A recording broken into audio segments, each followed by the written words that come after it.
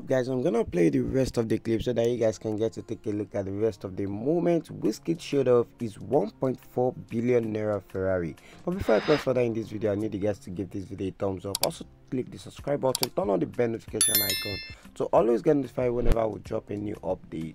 Oh my guys no be small. Money good money money like water. Yes Wizkid don't splash 1.4 billion naira on new ferrari. Oh my guys this is really intriguing. Last week in news of Burna Boy gifting himself a brand new ferrari surfaced online. Yes making it two automobiles that Burna Boy has added to his garage this year.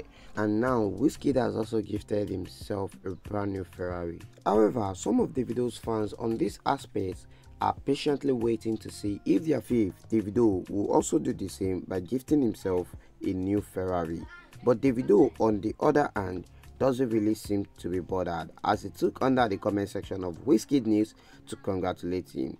He tagged big at Whiskey Dio with a love heart emoji. Anyways, big congratulations to Wizkid Guys, I'll leave you to enjoy the rest of the clip. What are your thoughts? Do you think Davido will also gift himself a brand new Ferrari just like Wizkid and Burna Boy? Share your opinion via the comment section, leave a like on this video and don't forget to subscribe. Mr. Dave and I'll catch you in the next one. Peace.